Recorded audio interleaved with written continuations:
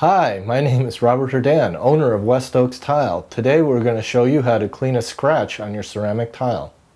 The tools that we'll need on this job will be a sponge, a bucket of water, and the grout that is the same color as the grout in the tile. Okay, you want to put your gloves on so that you can protect your hands against the grout. Grout is cement, which is very harsh on your hands, so you want to make sure you protect your hands. Then you'll go ahead and just take a little bit of grout and we'll just put it down on top of our scratch. And then we'll take our sponge here and just you just want to just get a little bit of water on that. You don't want much.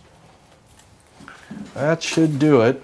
Now you're just going to make this into a paste so you want it to not be very liquidy at all. You can see that consistency looks good. And then you just scrub on the tile with your fingers. You'll feel kind of a sandy, because this is sanded grout, which is what you want to use, and you'll feel kind of a sandy motion as you're scrubbing, but your hands will be protected by the gloves. Now after you've done that, go ahead and take the sponge and just clean that up.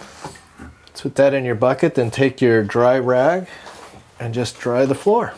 Okay, I'm Robert Herdan and we've just cleaned the scratch on this tile.